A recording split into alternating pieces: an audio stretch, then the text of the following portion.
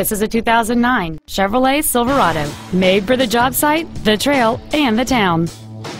It has a 5.3-liter, eight-cylinder engine, an automatic transmission, and four-wheel drive. Its top features include air conditioning with automatic climate control, a DVD player, satellite radio, a low tire pressure indicator, OnStar, and this vehicle has fewer than 9,000 miles on the odometer. Contact us today to arrange your test drive.